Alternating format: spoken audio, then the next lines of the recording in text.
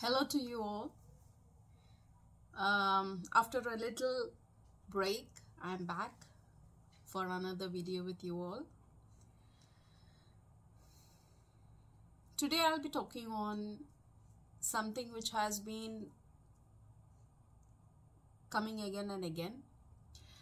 Um, you can call it as the universal messages or you can call it as tapping into the knowledge of the universe or it could just be my human mind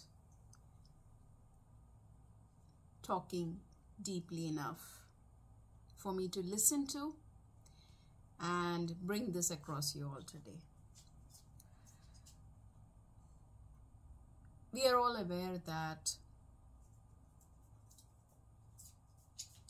on earth in this year we are in an era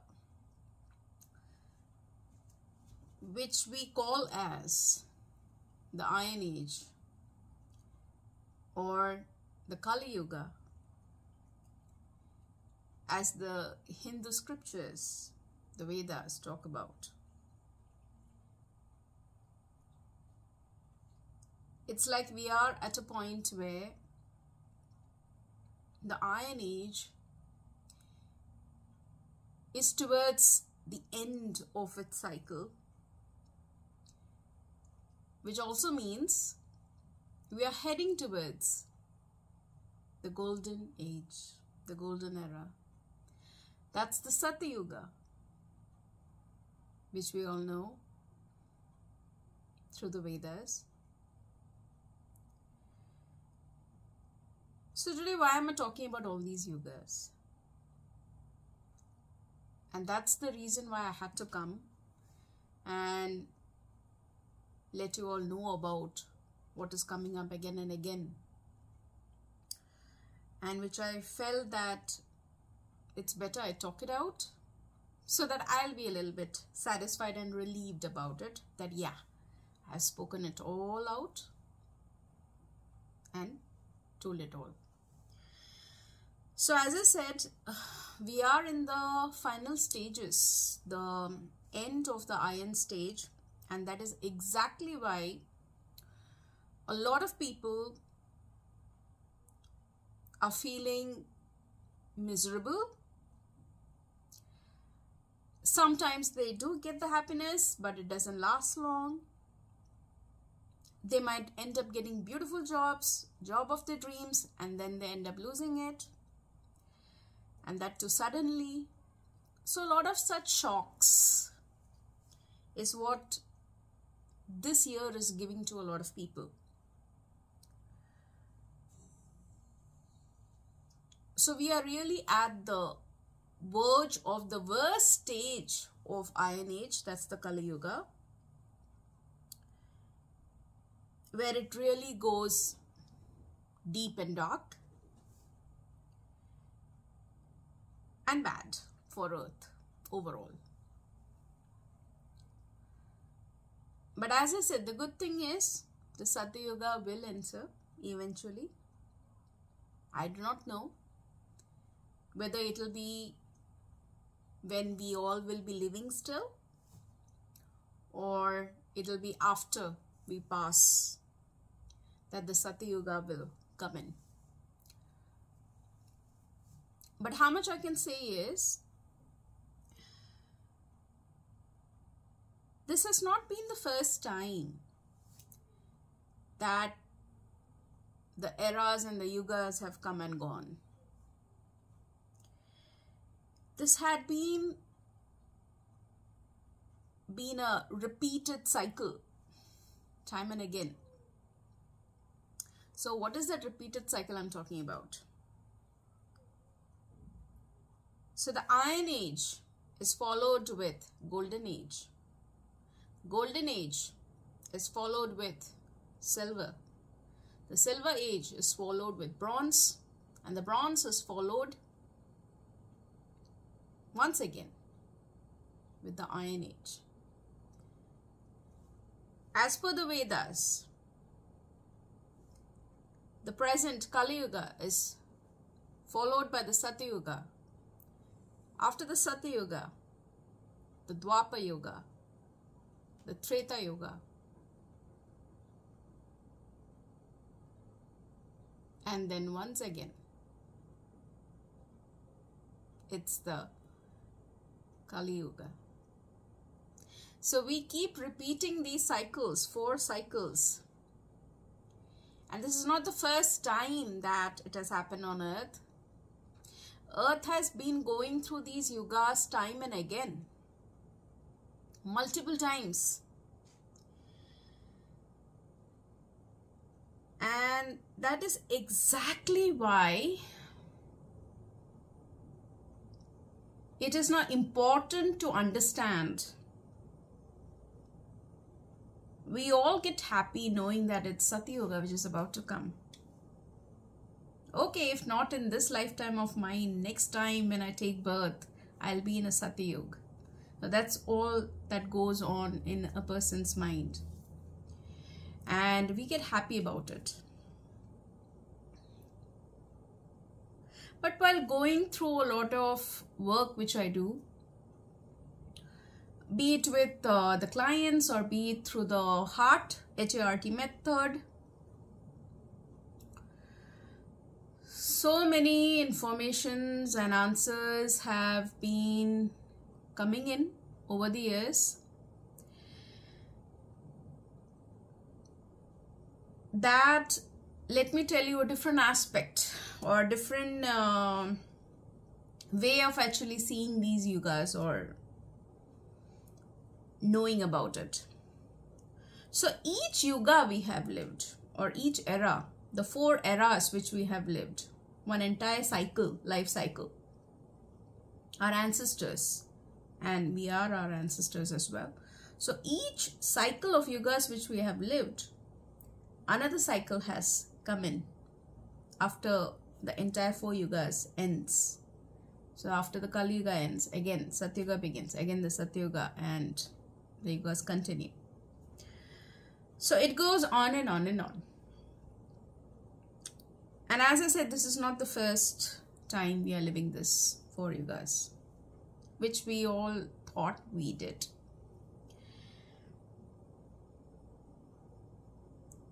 Rather, the uh, Mahabharata and the Ramayana, which we all know about, was from a different life cycle. It was not the same yuga. That is why we are not able to find a lot of, you know, people um, who have seen those. Um, of course, we have a lot of certain proofs here and there that it existed, the battle had taken like place like that, etc., etc. But you know, concrete, concrete uh, information passed on from generations, it doesn't exist. So it was the Ramayana and the Mahabharata, it was a part of the Yuga or the life cycles, the previous one, or maybe even the previous to previous one. I do not know. I'm just giving you what I feel and has come as information. So now having said this,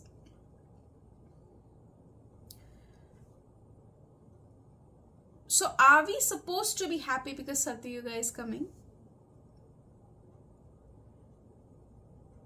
Or we are now aware that after Satyuga, the other yugas come. That's after golden era, the silver, the bronze.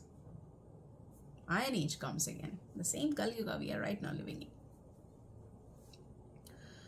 So should we actually be happy that a new yuga, new life cycle is beginning, is about to begin? Through one of the heart readings, the divine universe which is formless and we are all energies of that same universe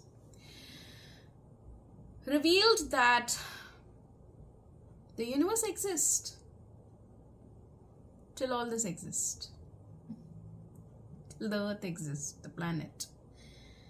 The universe exists till then. The energy, the source, the divine universe exists till we all exist. When it was relayed to me, at that time I didn't understand the deeper meaning of it all.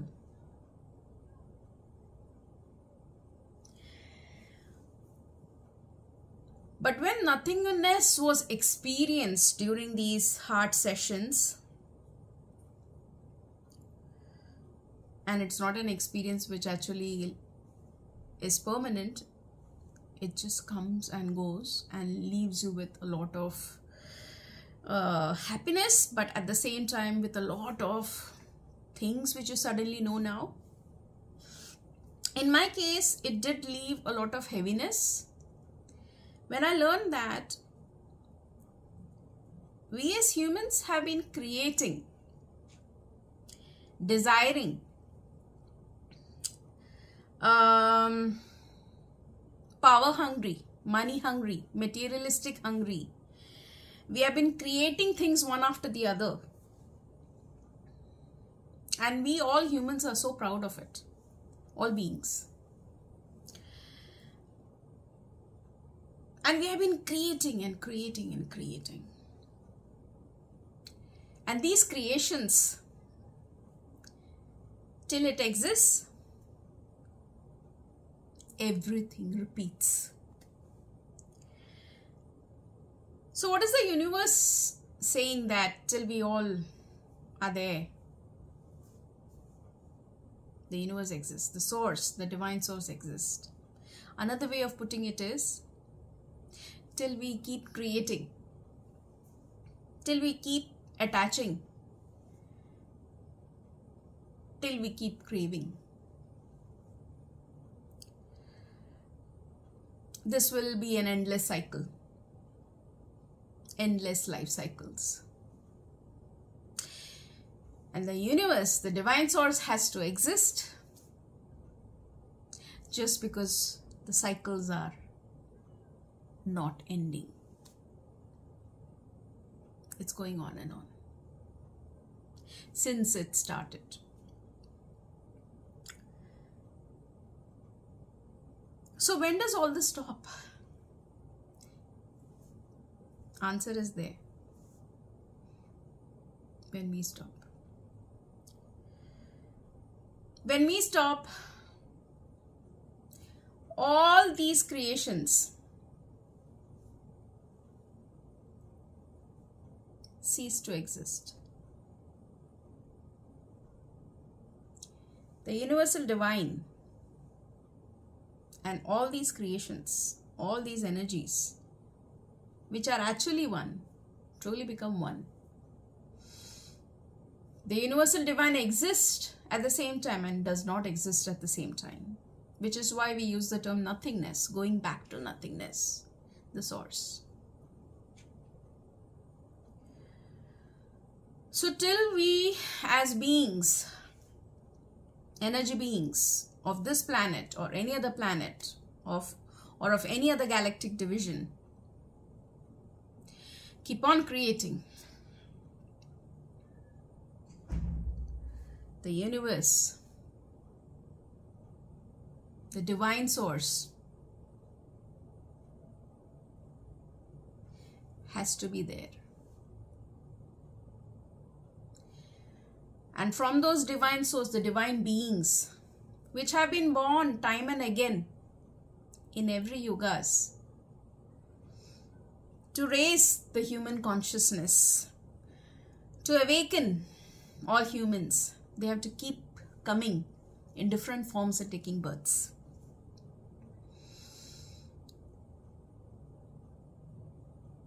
I'm not going to even mention the word religion, in which religion it is written or which religious books. Because what I'm saying today, some other being has said in another life cycle, in an another yuga, an iron age. And what we sometimes feel that I know this. Where does that knowledge come from? It's because we have been part of those other life cycles and yugas. We suddenly just remember it all. Suddenly. Not all people, but some people begin to recall it all.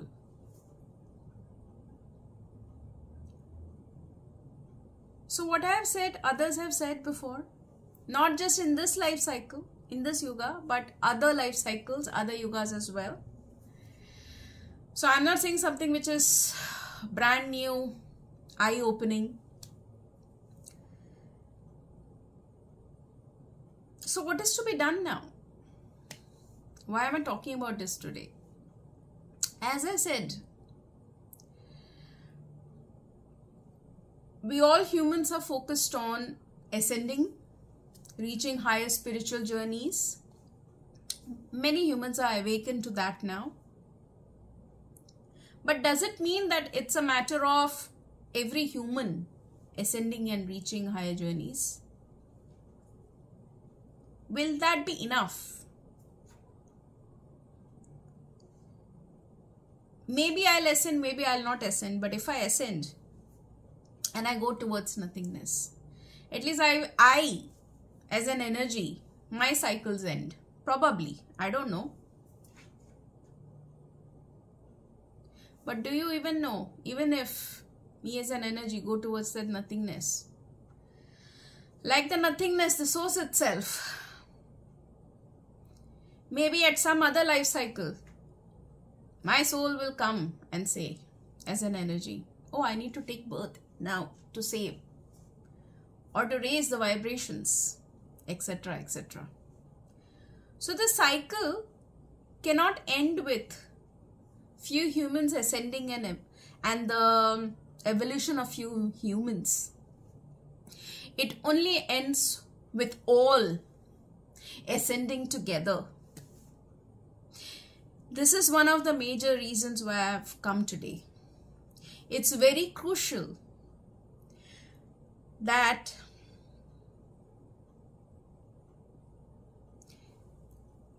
we all need to ascend together. We all need to come together and end the cravings, desires, end the madness, end the yugas, end the life cycles. Do not even crave for the Satyuga do not even be aversive towards the Kali Yuga. Just end it all. I'm not telling you all to actually go and end your life. So do not take me wrong. I'm talking about raising ourselves to such a level that we not just help ourselves, but help everyone who is ready to ascend.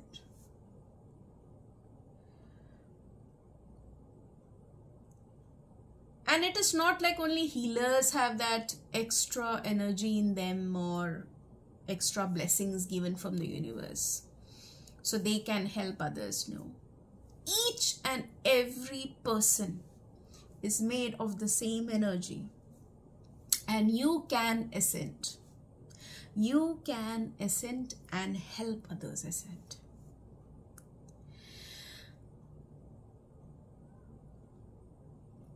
And these life cycles I'm talking about are made of four yugas.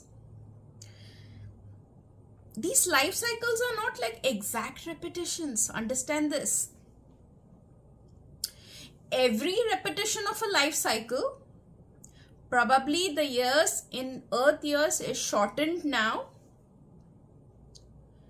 and it is more worse. So the Kali Yuga is more worse than the previous life cycle Kali Yuga. So imagine if these life cycles continue, what is going to happen in the next life cycle and beyond that.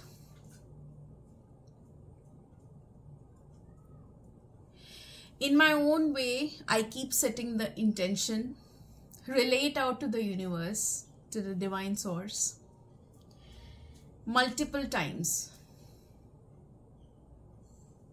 to end it and take us all in. Take everything back. Let everyone ascend. And the reason I am out here today to talk about all these things is because every person who is listening today, and if it has somewhere touched your heart, set that intention in your meditations, in your prayers, relay it out. That it's not just I who essence. May everything go back. May everything go back to the nothingness. All creations are illusions. Everything is an illusion. We all have been stuck in endless cycles of these illusions. It's time to wake ourselves and wake every person around us. It's time. It's time. May all be blessed. May Shiva, the energy, the universal energy, bless.